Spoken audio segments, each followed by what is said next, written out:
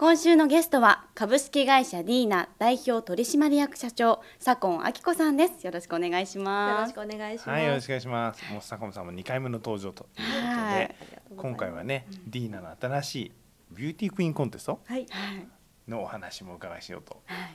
なんか気になりますね。しかも誰だっけ、えー、日本一、はい。えー、ひ細胞遺伝子遺伝子がが傷ついてない女？綺麗な 綺麗な綺麗な女です新しいすごいキャッチフレーズを引っ提げて。遺伝子が綺麗ってすごいですねねん、ちょっとその辺の秘訣をお伺いしながらいこうと思います。ね、それでもすごいキャッチフレーズだね、本当に。